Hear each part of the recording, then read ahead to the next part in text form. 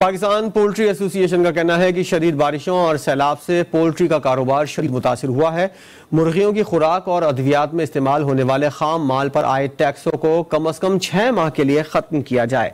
Pakistan poultry association के अहदेदारों ने कराची प्रेस क्लब में प्रेस कॉन्फ्रेंस करते हुए कहा कि गुजशत चंद माह में मुर्गियों की अद्वियात और खुराक में इस्तेमाल होने वाले खाम माल पर सेल्स टैक्स के नफाज के बायस इनकी कीमतों में तकरीबन साठ फ़ीसद इजाफा हुआ है।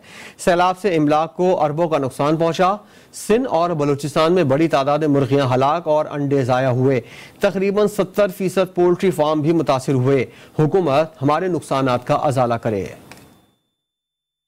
ग्रेन की सपोर्ट प्राइस जो गंदम की दोनों ने अनाउंस की है और इन चीज़ों को मिलाते हुए आपके आटे की प्राइस पे भी बहुत बड़ा इम्पैक्ट आएगा। मेज के लिए गवर्नमेंट कुछ करे, वरना नहीं तो ये एक फ़ूड क्राइसिस आ जाएगा this is not only related to poultry ये तमाम और भी इंग्रेडिएंट्स जो सॉरी चीज़ें हैं, जैसे कैटल मिल्क आटा वगैरह, सब पे इफ़ेक्ट हो सकती है। गवर्नमेंट हमें रिलीफ दे सकती है।